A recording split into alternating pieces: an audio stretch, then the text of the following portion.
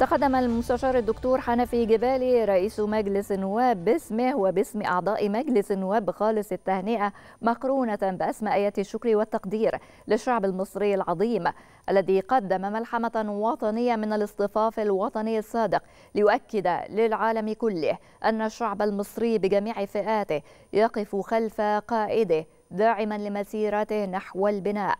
وأكد رئيس مجلس النواب أن المواطنين الذين خرجوا بالملايين حريصون على الإدلاء بأصواتهم لانتخاب رئيسهم. أثبتوا وبحق أنهم على قدر كبير من تحمل المسؤولية والوعي الفكري وقدموا صورة مضيئة للديمقراطية والحرص على بناء المستقبل. كما وجه رئيس مجلس النواب خالص التهنئة للرئيس عبد الفتاح السيسي لتوليه رئاسة مصر لفترة تالية داعيا الله العلي القدير أن يعينه على ما حمل وأن يكون التوفيق والسداد حليفه دائما. كما وجه التحية والتقدير لقضاة مصر الذين أداروا العملية الانتخابية بجميع مراحلها بمنتهى المهنية والمصداقية.